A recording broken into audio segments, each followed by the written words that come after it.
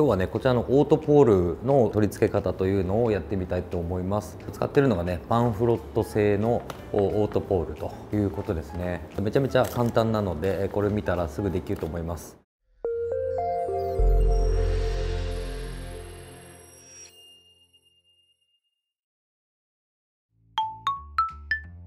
まずねあのこちらの赤い部分を指で押します。押した状態でこちらのバーを上に上げると。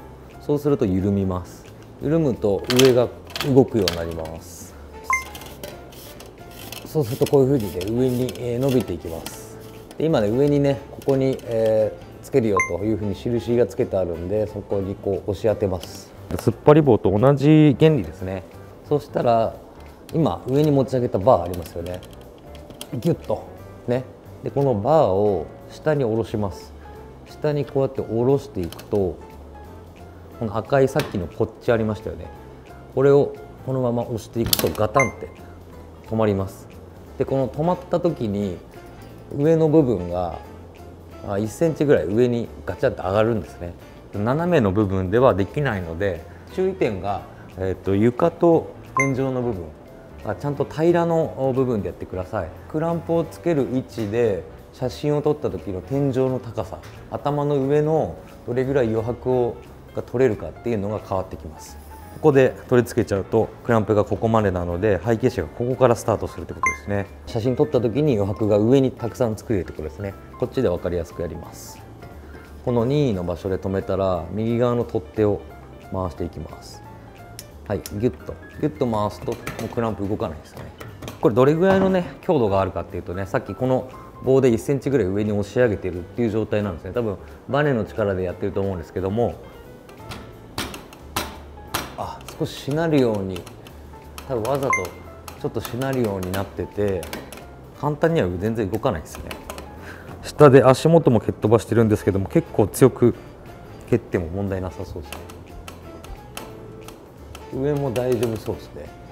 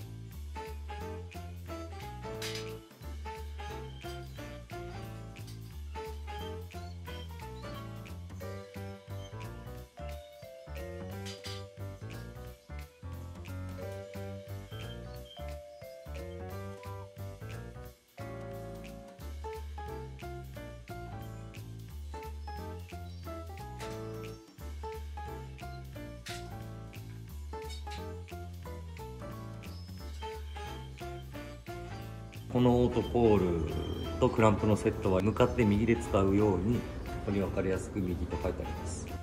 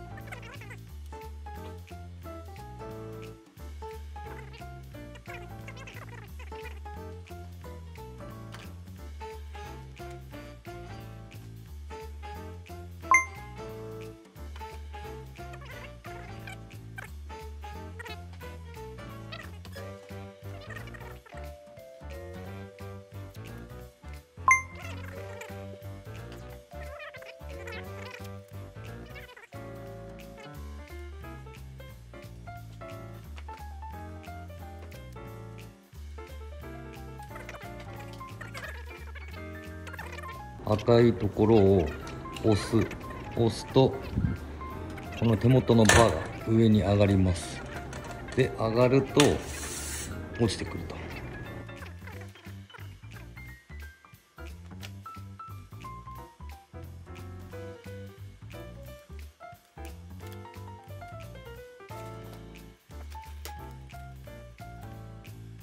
ッチーチャンネル。オートポールの使用方法についてご紹介させていただきました。参考になったなと思いましたらチャンネル登録とグッドボタンの方をよろしくお願いいたします。ありがとうございました。